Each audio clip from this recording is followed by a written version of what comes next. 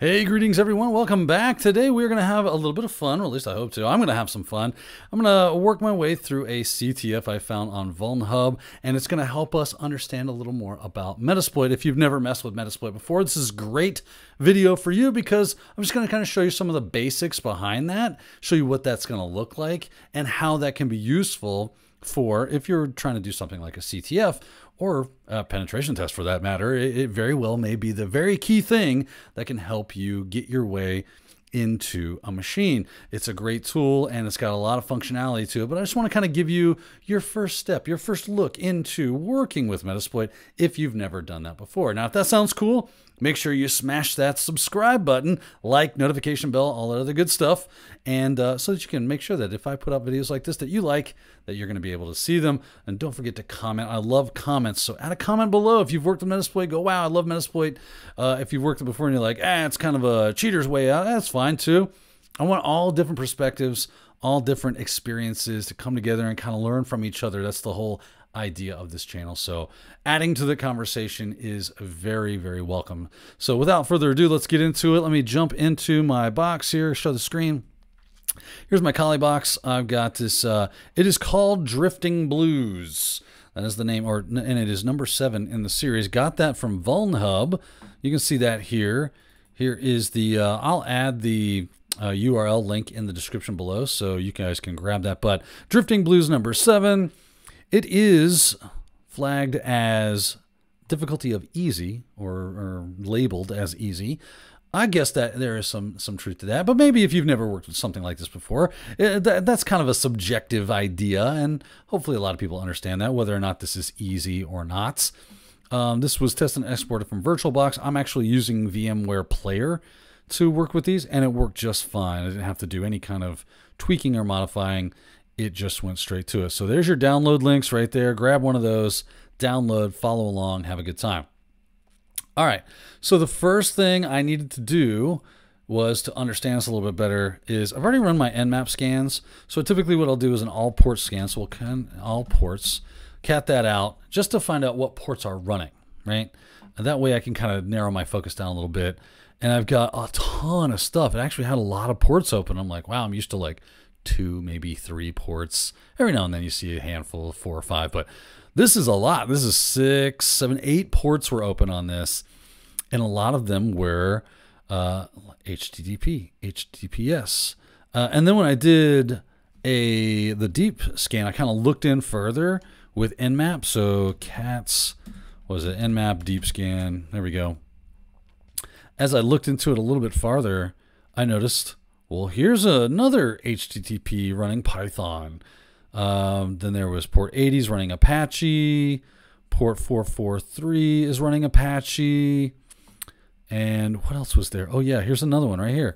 8086 is running InfluxDB on HTTP, right? So this had a lot of options for me as I just kind of worked through my my way. I, what I like to do, especially when I find web pages like this, you know, so it's running some sort of HTTP business.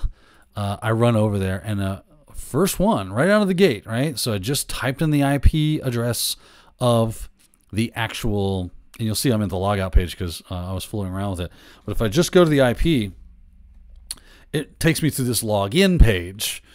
And I thought, okay, well, this looks like a little brute forcey to me. I like brute force. That's it's not too difficult. You know, fire up burp or zap or something, or maybe you know uh, build my own custom tool or whatever with Python. That takes a little bit of time. Um, but it didn't get anywhere. I got a couple of, of lists that I ran through, nothing. And I thought, well, maybe it's SQL injection, you know, but I do have this like eyes of network product under GPL, so I know what it is. And I said, okay, well, let me just kind of fiddle around with that for a minute.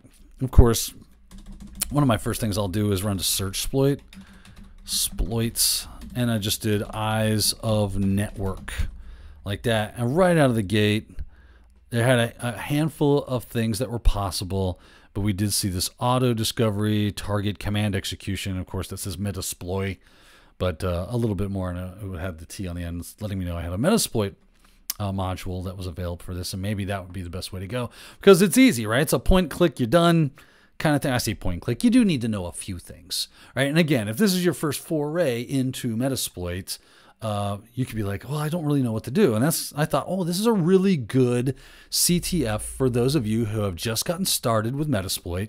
You've maybe poked around a little bit with it. Maybe you've even done something with it. Now you need some other thing to test your skills with Metasploit if you've if you've gone down that road and you're just looking to get some more experience.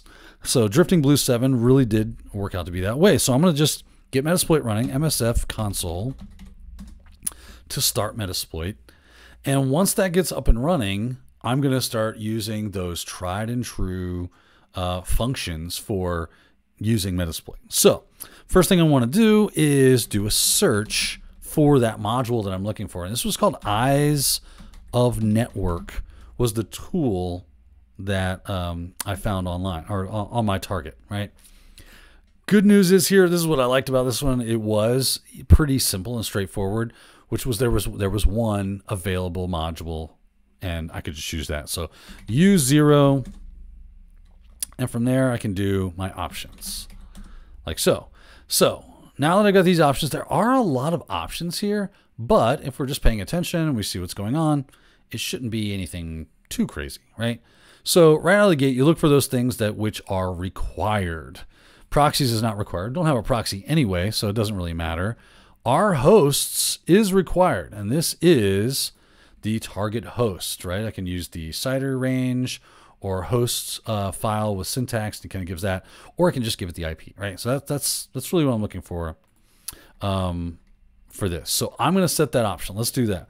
Set our hosts, and for me, it's pretty simple. It is 10.10.10.32 was the IP on my network that I'm running with. So it'll be different for you. You'll have to do what you've got going on for you. So I got that set. Go back to options again. Make sure that that is in there, which it does look like it is set. Now, the next thing that is required is our port, and it is set to 443, and that's fine. That's exactly where that is lying, is if we go, uh, oh, I guess we're there. If we looked back at that nmap scan, remember we saw port 443 was open. If I go to just port 80, it redirects me to 443, okay? If you get any kind of thing about the certificate not being signed or anything, just accept the risk and continue, that kind of stuff. Uh, you know what you're doing, right? That's, that's what's going on here. Now, we've got this SRV host and SRV adder this is the eyes of the network server IP address if different from the R host. It's not for me, so I can leave that alone. If it was, I would want to add that right there, but it's not. SRV host, this is the local host or network interface to listen on. This must mean address on the local machine or the, easiest thing to do is to go with the 0.0.0.0 because then it'll listen on all um, available interfaces.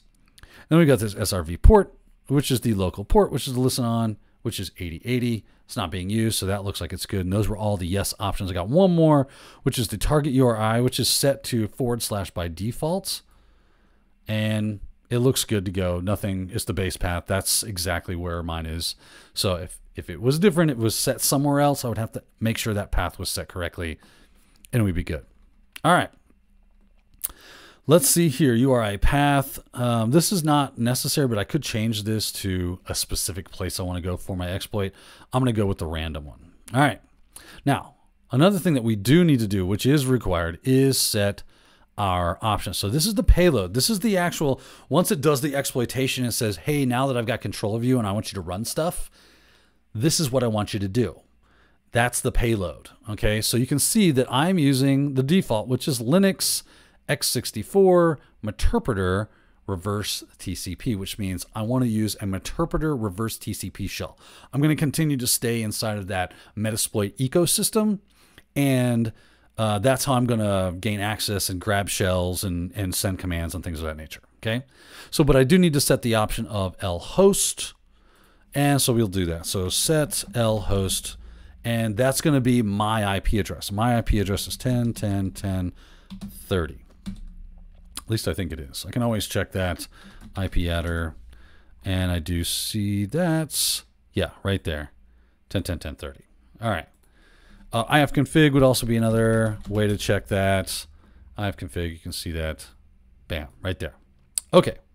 So now that we've got all our options, I'll just check that, make sure all those options are set. I do see the right interface everything is rocking. Here's the exploit target. So if there were multiple targets, you might want to change that. But this only has one. It's a Linux x86 target. or um, I'm sorry, x64, 64-bit target that is. And now I can just run one of two commands, either run or exploit if we want to be super leets, which you know we do. I'm going to type exploit. All right, type exploit, and it's going. It looks like things are happening. It's sending the stage.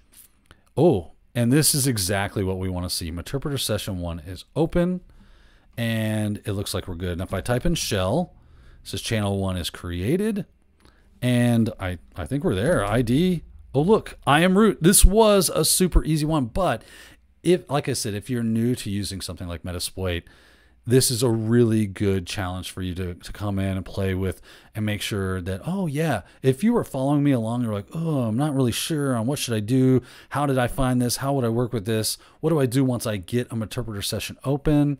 How do i do that? Well now you can understand. Now that i'm i'm shelled up i can throw python commands at. So python was it? Uh, dash c import pty pty.spawn. This is just some house cleaning stuff to make it look a little... And I'm just going to spawn a bash shell using Python just to kind of pretty things up. And you notice now I've got this nice bash 4-2 kind of thing going on. When I do ID or who am I, you can see I'm root. I can cd slash root, do an ls. I've got a flag.text. I can cat flag.text. And I get the cool flag. Yay, go us. But all that was doable. When I'm done, just exit out. That closes that Python shell that I created. This will close the interpreter shell, and I'm happy as a clam, right? I can check sessions to see if I still have one. Do a sessions dash i. You'll notice there are no ID. Uh, I just do sessions. I think that's, yeah. So looks like we're done. Shell, right? Yeah, so channel two was created. ID, I'm back in. So if you want to get in and out, sessions usually, I think it's, there's a listing function what is it? Uh, I'll exit out of here. And um, if you're if you ever get stuck, right, just help, and it'll show you what you can do, and kind of give you some some helps with this stuff. I was looking for anything around that session stuff, which I don't see, which is funny. There it is. Since sessions quickly switch to another session, I think you can do like help sessions again, kind of helping you out. So help sessions, or it's going to be sessions help. Yeah, uh, ses- sessions help. Yeah, it doesn't like that. But sessions dash I usually does uh, sessions dash L. Yeah, I don't know what's going on. But there you go. If you need another one, just hit shell.